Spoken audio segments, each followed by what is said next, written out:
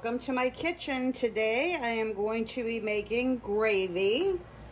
I cooked a pot roast and I'm going to drain the juice into a pan. I'm going to use a strainer. And just pour all the juice in there from the roast.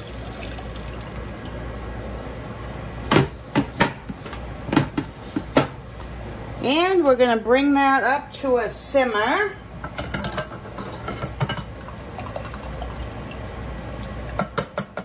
So I have about two cups of juice from my roast. So I'm going to add two tablespoons of flour to a bowl.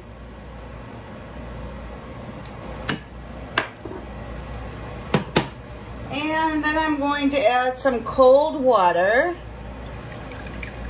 about three quarters of a cup to start. And I'm just going to whisk that together until there are no lumps.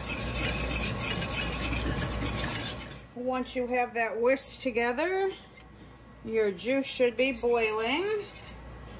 So I turn my heat down to medium. I'm just going to add about half of that to start with. And whisk that in. And add the rest. And I'm just going to add a little bit of salt, probably about an eighth of a teaspoon and an eighth of a teaspoon of black pepper. And just keep whisking that. And you can see that it is already thickening up. And that's what you want to see. I would say whisk it for about one minute. And then you'll have your gravy.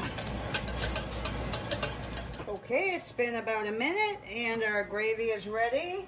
You can pour it in a gravy boat if you have one.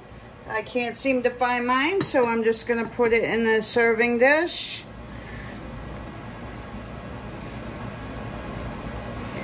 And that's it. Perfect gravy for your pot roast. Thanks so much for watching. I hope you enjoyed. Please like, share, and subscribe. That would help me out a great deal. And I will see you on the next one.